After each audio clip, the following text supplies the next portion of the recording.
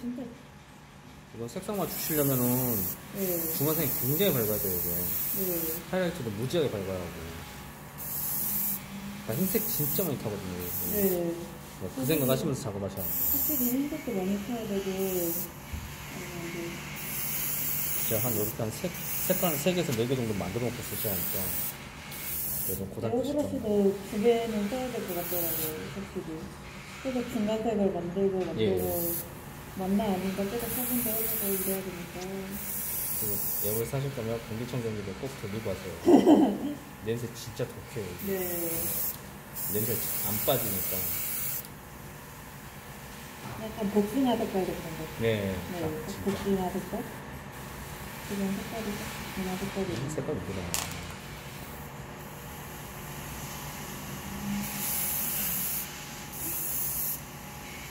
색깔이 여러 가지가 섞여. 다막을 통 갖고 오셨죠, 지금? 네? 다막을 통 갖고 오셨죠. 도로 담아갈 수 있는 통도. 어. 있을라나? 없으면은 바로 사러 가야 돼, 또 이제. 그러니까 예. 이 색깔 너무 음. 아, 걔 흰색 어, 서페이스인 줄 알았어요. 아. 어, 갑자기 왜 회색 옷을 줄 아시지? 이런. 너무 너무 진하지 않아요? 그거?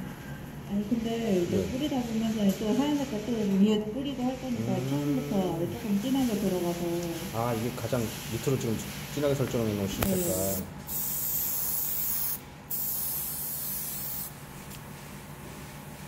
요거 이제 머리 아래쪽으로. 네 머리 아래쪽 한번 좋아하려고 네. 잘안 나와가지고 조금 약하게 뿌리세요, 그거 하실 때. 너무 세게 뿌려버리면은 뭐 타다닥 칠 거니까. 네. 뭐 그라데이션 넣으실 때는 신나 많이 타고 좀 늦게 가셔야 돼요. 네 어쩔 수 없지만.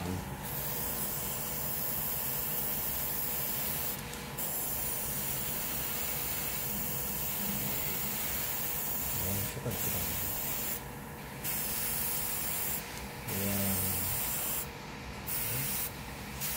어 근데 진짜 이거 안 단순하게 하- 하려고 네. 좀 많이 해야 될 것 같아요 그러니까 일러스트에서 아까 보여주신 것처럼 그거 하려면은 음. 진짜 섬세하게 뿌려야거든요. 네. 살살 당겨야니까.